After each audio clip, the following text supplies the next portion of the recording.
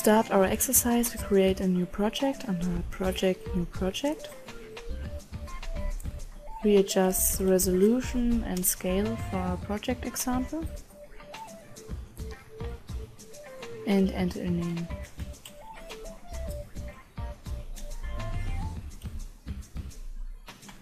The settings. Okay. We switch to the register card rectification and load an image for rectangle rectification. In the folder image rectification we select the folder facade rectangle, picture with me measurements. Choose the type, rectification, rectangle.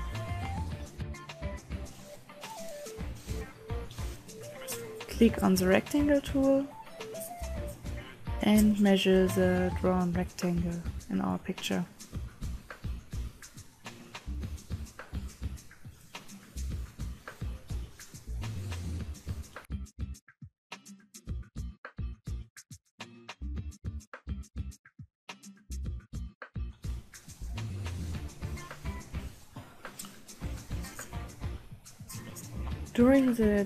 Picture taking you take measurements on the object that you now enter for our rectangle information, width and height.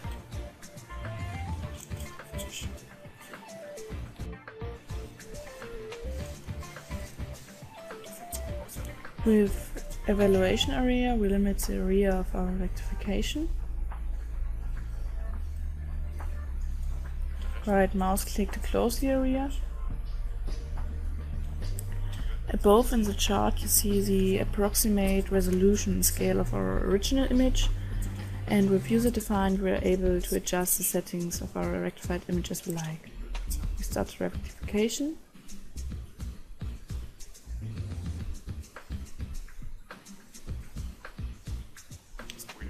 The program saves the rectified image in a new TIFF file.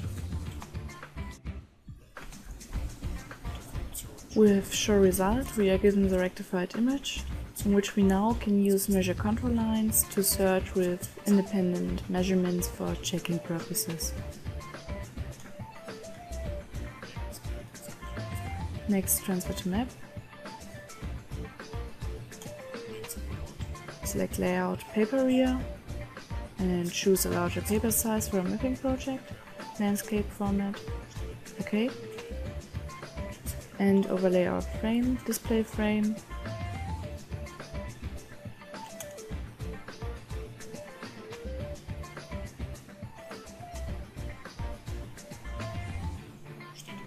And accept the settings. In the project tree, under the register card mapping, we load now mapping classes and groups out of a former project Therefore we open the class management and with mapping template we load the mapping classes of one of our exercise examples. Under mapping training in the folder project wall Here we can choose out of a selection of an older project the mapping classes and groups for a new project. You can deactivate classes we don't need. You can also deactivate all. And now select individual groups over the group selection.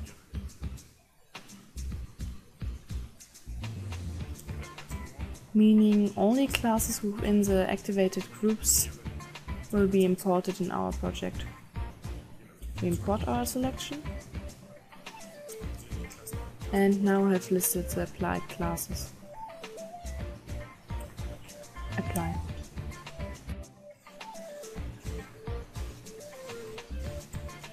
We can now see in the mapping tree the different groups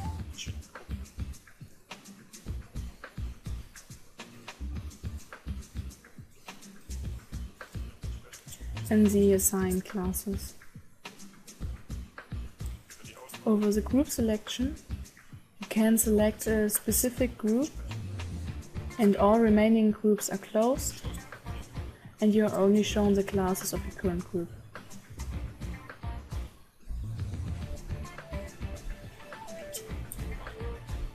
Return to group all. We wish to assign a single class or in this case our image layers to our groups. We select the class and with right mouse click to the context menu you open insert to groups here we can see in which groups our class is already used and add our image layer to our remaining groups. Apply. If we switch now between the groups, our image is always included. You can also select an individual class with pressed left mouse click and relocate it to another group. Or open with right mouse click the context menu, insert to groups, and control the attribution to different groups, or remove classes from groups.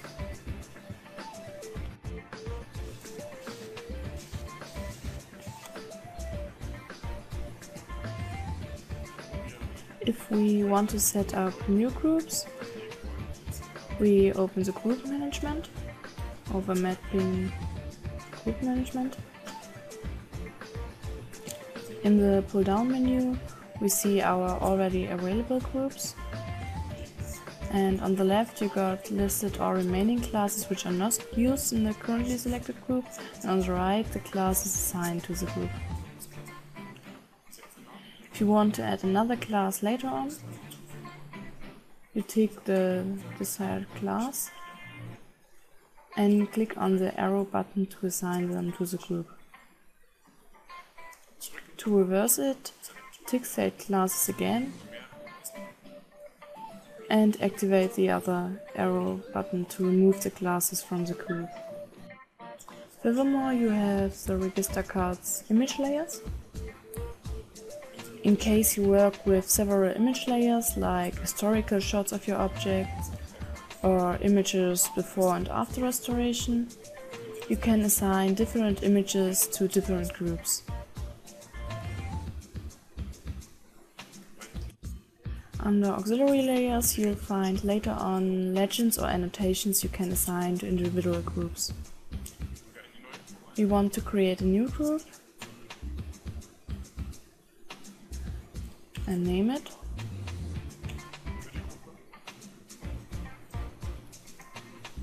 As you see, we have yet to assign classes to our group or it remains blank. So we select on the left classes we intend to integrate in our new group. And move them with the arrow button to our group list.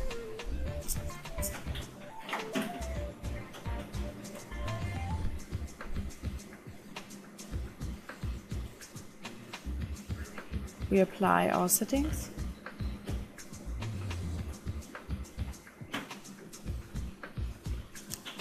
and can see our group in the mapping tree.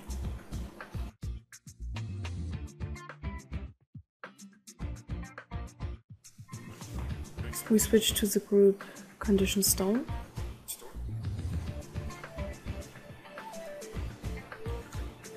For each group we can create a group legend, therefore we select the group name, right mouse click on create group bound legend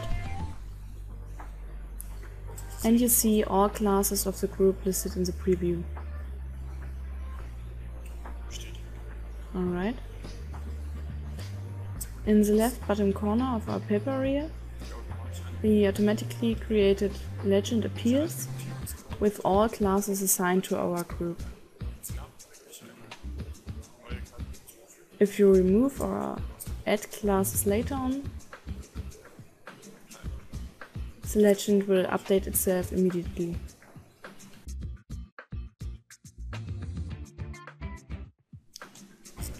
The legend is now listed in the mapping tree under its group.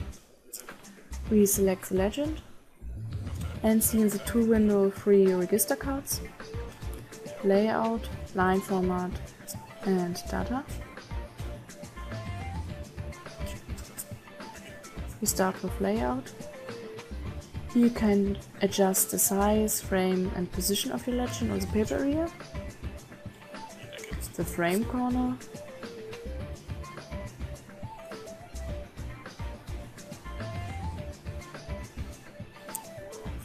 Or you decide to define an insertion point. Therefore you can enter the coordinates in centimeter regarding the left bottom corner on our paper area. We enter 2 centimeter and can see the legend relocate in 2 centimeter distance to the paper edge.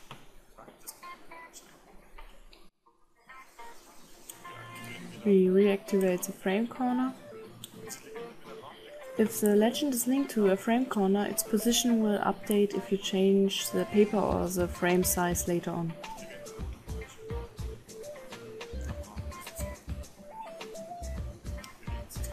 Take a look on the second register card, line format. You can generate the size, gaps and length of lines in the legend. You can adjust font size or color. Or you can add more columns.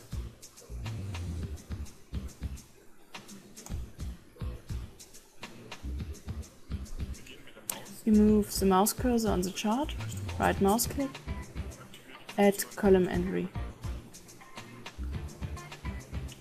We choose the function number.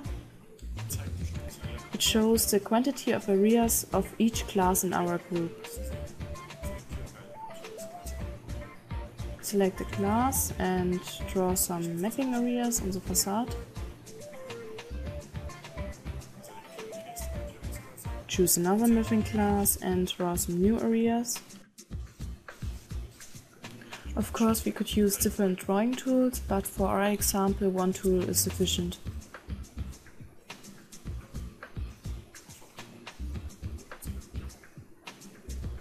Return to the legend and see the legend has updated itself. You can read the quantity of the respective class. We add another column entry. Total masses. We are now shown the sum of our mapping areas in square meters. We activate another column entry.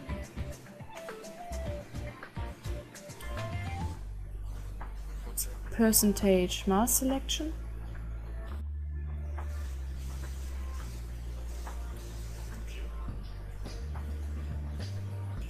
In this case, the sum of all mapping areas on our paper area is 100%, meaning the expense of all classes is added up.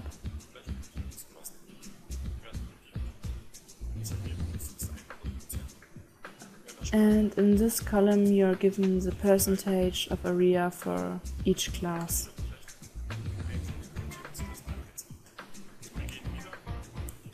We return to the chart and add yet another column and select percentage mass object.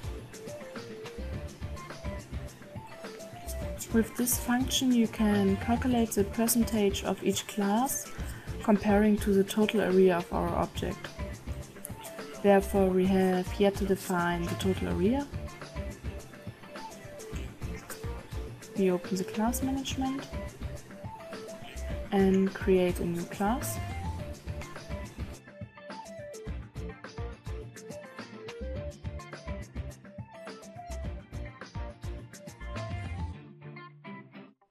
Choose the type area mapping.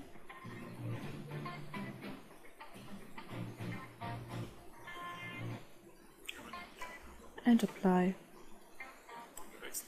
We switch to group all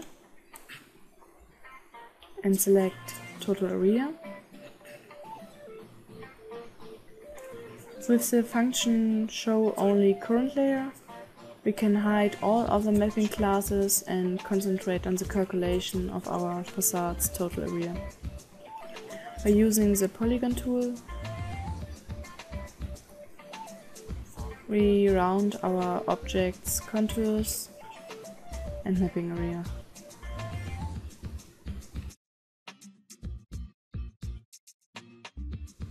And we have the total area with 149.30.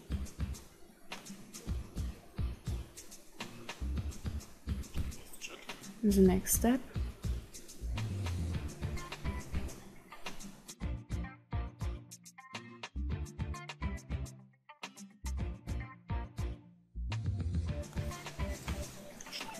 we cut out the windows.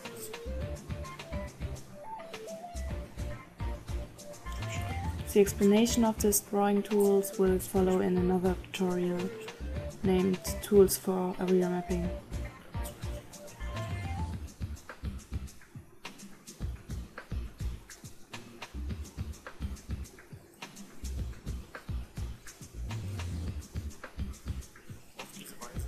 This way you can erase certain subareas out of the quantity survey and get a more accurate result.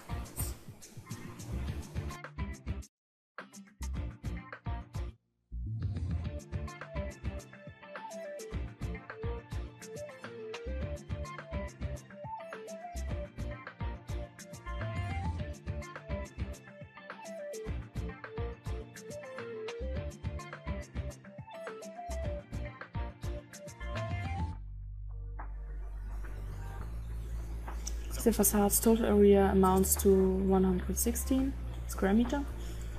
We deactivate the display of this class.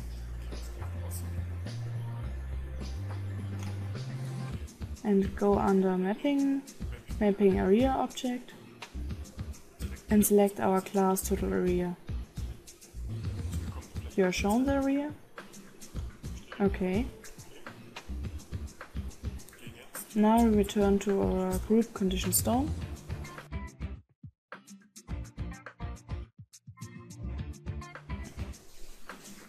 And see now in the legend the percentage of each group compared to the total area of our object. We switch to the third register card data. You can see the listing of all mapping classes of this group we can arrange the order of the classes. And with right mouse click, we can add column breaks. You see the separate two columns. You can click with right mouse click on the first line and add a header. Also for the second column. And you have the annotation of all columns.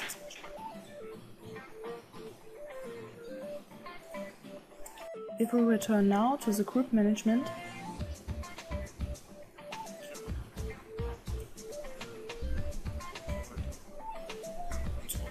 and look on the register card image layers,